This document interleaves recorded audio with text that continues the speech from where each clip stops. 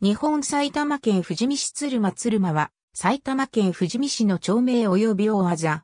現行行政地名は、鶴間1丁目から3丁目及び大技鶴間。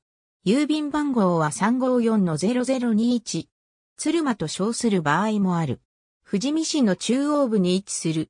新河岸川沿いの中石平野や武蔵野大地が入り組んでおり、朝廷の地内は起伏がある。鶴世紀東側周辺に住居表示が実施された朝廷が設置されている。また、大技が鶴世紀西川と富士見川越バイパス沿いの2地区に残っている。住宅地の地価は2017年1月1日の工事地価によれば、鶴間2の7の35の地点で15万2000円、平方メートルとなっている。かつての鶴間村の区域が一つの大技鶴間であったが、市政施行後は住居表示の実施により範囲は狭まり、3地域に分断されている。